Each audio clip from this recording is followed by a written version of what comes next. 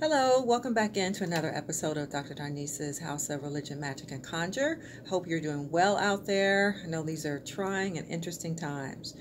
Um, but par- that's part of what I want to talk about today in terms of how we might understand this on a more um, broader, more metaphysical level.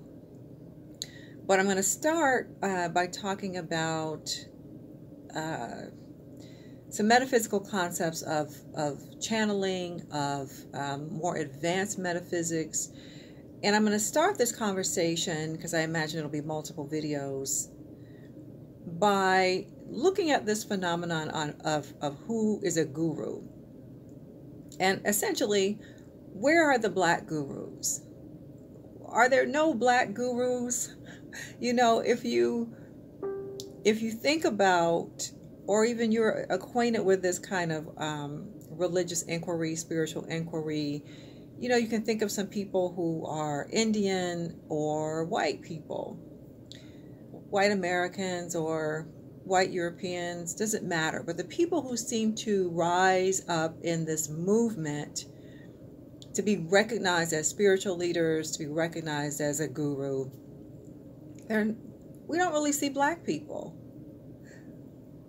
in Africa or in the United States. Now, there's one exception who I can think of, and maybe you can think of some other people as well. And if so, certainly comment. I'll be fascinated to know who they are.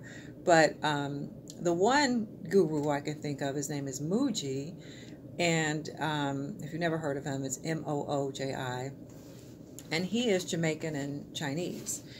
And uh, yeah, so so he's one African descent person I can think of, and he uh, travels the world, I guess, and he he's sometimes in Portugal, sometimes in India, sometimes in Jamaica. But I would not say that he has attained the level of status as you know some of the Indian like Sadhguru or some of the you know from history Ramakrishna, you know, like that tradition of Indian gurus that's been accepted worldwide, particularly by uh, white people. That's a very Indian thing, right? Eastern European, uh, Eastern, uh, Eastern spirituality. So the Buddhists, the Hindus, they are accorded a certain amount of spiritual authority and legitimacy. And then there are the white people, you know, some of whom actually go to India and get an Indian name and they start, you know, dressing um, in the garb of an Indian guru, right? Like the white headdress or clothes or certain kinds of prayer beads. And okay, you know, I'm not really knocking somebody else's spiritual path. But what I'm saying is, it can't be that there are no black gurus, right? so I'm acknowledging that there are, you know, there are black spiritual teachers out here, but for whatever reason, we've been erased from certain environments. So you go to conferences, I don't know if you go to conferences, but I, you know, spend time in spiritual and metaphysical spaces. And there are really not that many black people. So in fact, when there are, we kind of like, you know, what you do when you're in an environment where there's not that many black people and you, you know, nod and at some point you go over and talk to them and say, wow, it's not usually that many of us here. Why is that? What are black people doing in terms of spirituality? And I'm not, I'm not talking about, obviously, I think it's obvious. I'm not talking about church membership. You know, black people are certainly present in these Christian churches um, and even in um, mosques you can find a significant number of black people. But these more metaphysical, spiritual spaces where people say that they're doing, um, you know, spirituality outside the bounds of religion. And so um, that's what I'm wanting to talk about is, for example, channelers. So those people who are renowned, well known as channelers, and I'll say, you know, reputable channelers. Although, if you're not familiar familiar with channeling or you haven't paid much attention to channeling, you might say, "Well, I don't know if any of them are reputable." But you know, that might be your personal opinion about it. But but there are some who definitely have crafted a space for themselves as being legitimate.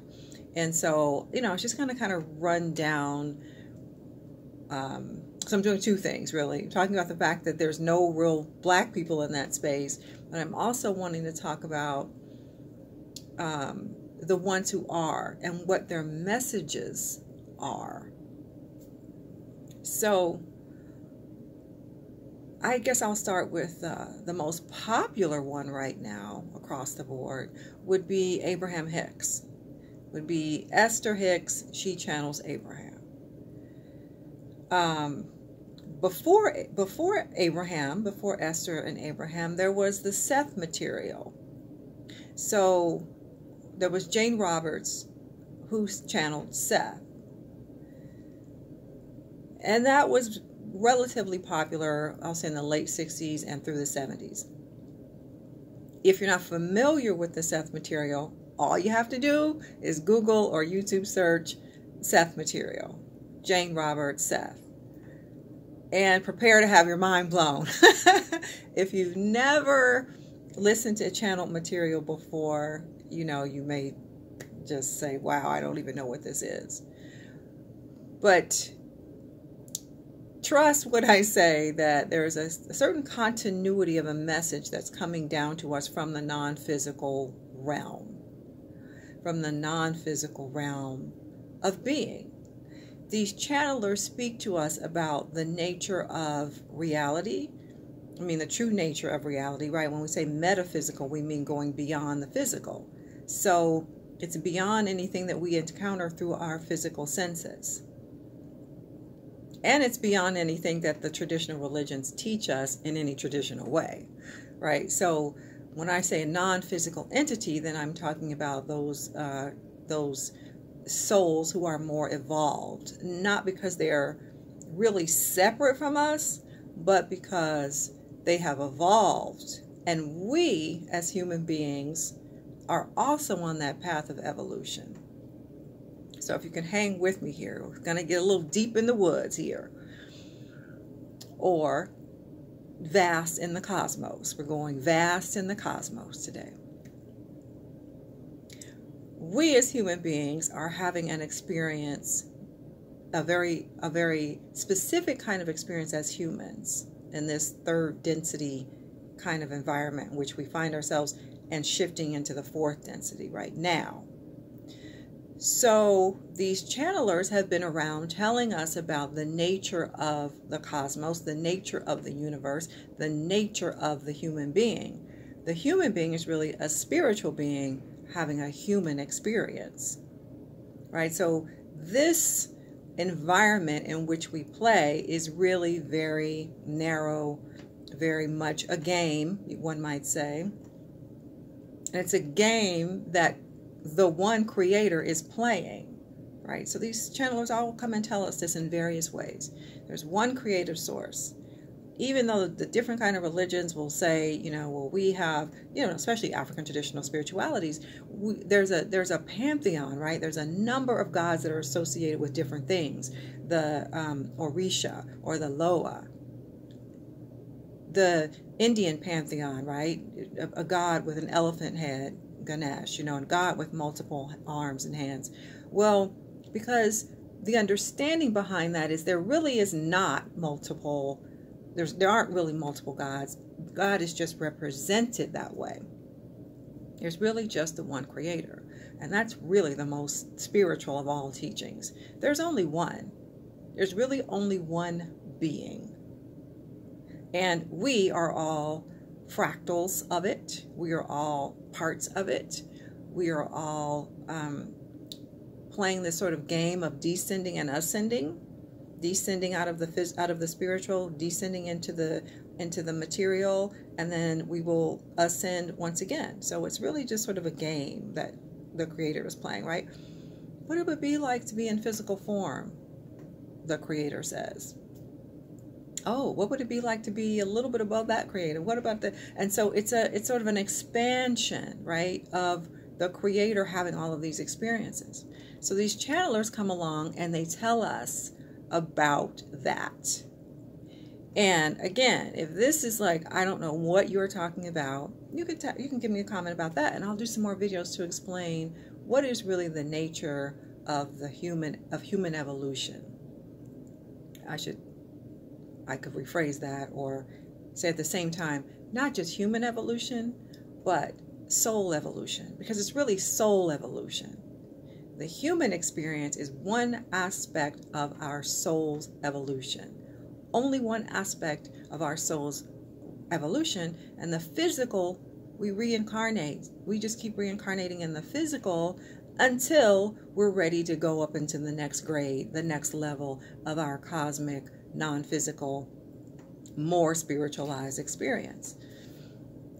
I think I will do that other video on the different densities, the one, the, the uh, densities one through eight, to talk about what kind of beings exist on the different densities. We are, as I said, third D going into the fourth D. We pretty much are making that shift into the fourth dimension or density, which is why our world seems to be coming undone. Indeed, it is coming undone because it's a th- third density kind of reality that can no longer be held together. It's no longer a vibrational match to where we're going. The Earth itself started making this transition in 2012. The Earth itself is already fourth density. So, as those of us who live on the Earth are going too, but it's a really hard transition for a lot of people. So, you know, you might hear things talk about things, hear people talking about um, ascending or the shift, spiritual awakening. People's consciousness is expanding, which is what I always say, right? We are here at this time to experience the awakening of humanity, the expansion of consciousness. That's what we're living in right now. And it can seem really scary because there's so much uncertainty. We're like, we don't, we've never been in this space before. We have no idea what's going to happen. And so we're worried about very specific material things that you know is natural to human beings to be worried about in a way you know how am i am i gonna how am i gonna take care of myself right so we're worried about jobs people worried about their incomes and you know being able to pay their bills and survive so that's natural to the third density and to the human embodied being that we are but where we're going, we need a whole different system. And when I say going, we're not really, it's not like we're all gonna like die and then wake up in a spiritualized body. We are just shifting into another way of being as we see our planet and our societies doing it right in front of our eyes right now. It's happening right in front of our eyes. Look, our planet is restoring itself while we've been inside on punishment. She put us on punishment, right? So the planet is restoring herself. Our systems are failing, and new ones will have to be created. There's no such thing as going back to normal. That is done. So please understand. Expand your own consciousness and say, well, what are we going to have then? What will life be like? It's going to be different from now on. It is going to represent a different way of being the old can't come. That's what's happening right now. The old can't come. Some of you may find your some of your relationships can't survive either. Relationships can't survive. Meaning gonna have to let some people go. Or they might let you go. Because it's not the kind of place that it's not a kind of union that can vibrationally hold together. Anyway, I said we're going deep, right? We're going deep. And I'm really just giving you a little fumble, thimbleful, a little thimbleful right now. Because uh, really, I wanted to talk more about these channelers. So the channelers are, have been giving us little bits and pieces of this all along. What is the nature of reality? What is our cosmos like? What is the meaning of life? Um, what are we as human beings supposed to be doing here? Is there good and evil? Um, what, what is it all about? What happens when we die? Right? Religion, since time immemorial, have been trying to answer the questions who are we? What is the meaning of life? And what happens when we die? So these channelers have been coming in since the beginning of time, really. But just in our recent history, I'm just talking about our recent history since the 1960s to the present.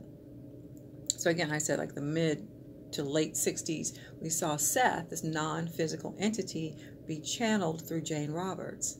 And he dropped the bomb that said, You are the creator of your own reality. You are the creator of your own reality. And that was so mind boggling in 1968 that people said, oh, she's crazy, she's possessed by a demon. Something is wrong with her. And if you look at that old footage, it's very black and white, grainy. And um, it will look a little creepy, I think, from our perspective. It almost looks like an old horror movie or something. But it's the technology of the time, right? And the and how old it is. So you can, you know, acquaint yourself with the Seth material. You don't even have to look at her. It's been on audio tape. You can listen to the whole. I think it's ten hours long um, various audio versions of the Seth material. Then we get to Abraham. Abraham Hicks. Again, a combination of Esther Hicks, who is the channel, and Abraham. And Abraham takes the teaching to say, you are the creator of your own reality, and here's how your emotional, uh, your emotions help you know if you're on track or not in terms of what you want to manifest. So, so Abraham started talking to us about how to manifest the things that you want how to have a life that you like, that you enjoy, a life that feels good to you. Abraham is very much about soothing. Great stuff. I love Abraham. Channeled by Esther Hicks, white woman, Jane Roberts, white woman. Um, and the audiences, largely white. Okay.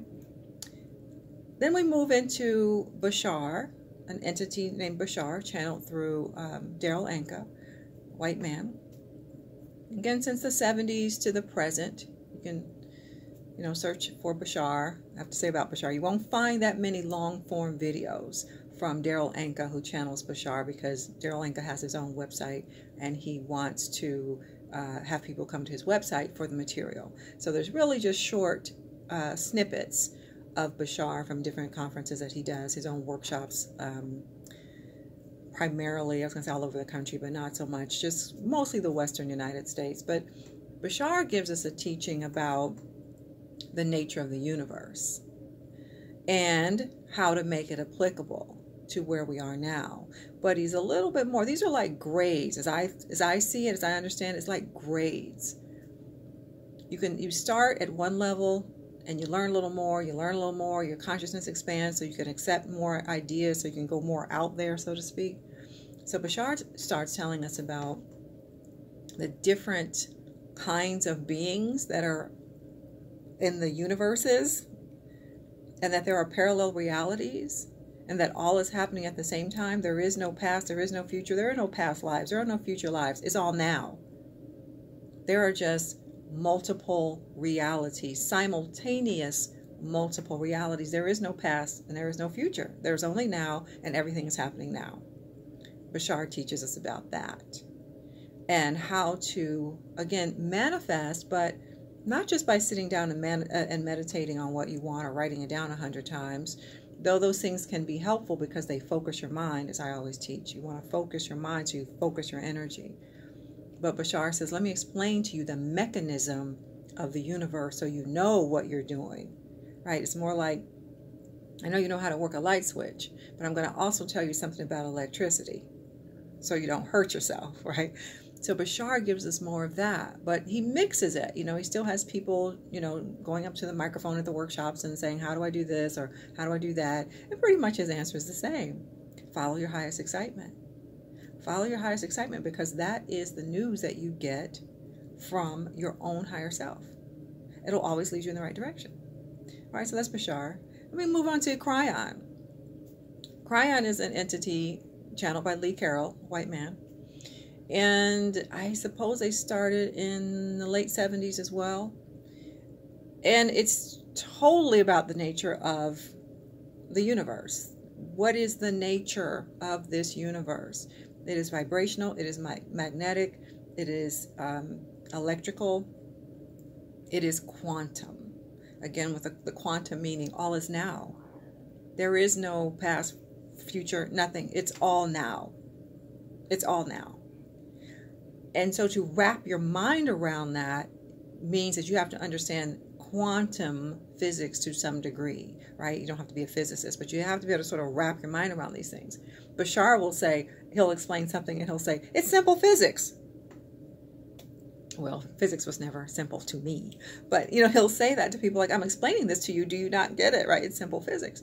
And then Kryon expands it even more and says, No, I'm not going to just tell you about how electricity works through your house. I'm going to talk to you about the nature of electricity.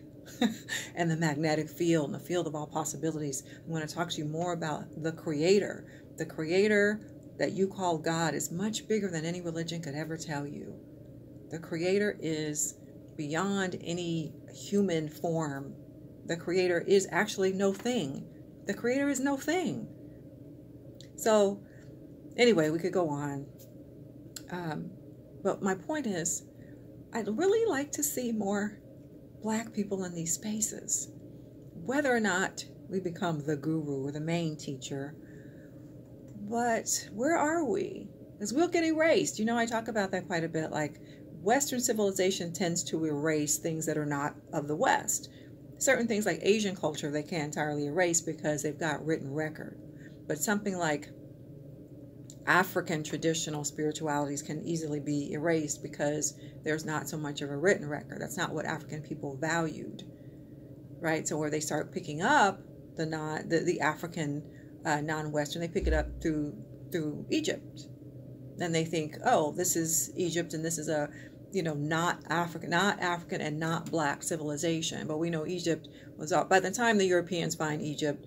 Um, it's already in a certain kind of decline and, and it's and it's a mixed race that mixed races that start to happen in Egypt around 300 or so BCE that's when the, it, it becomes more of a multicultural kind of environment. Prior to that it's the African it's the African.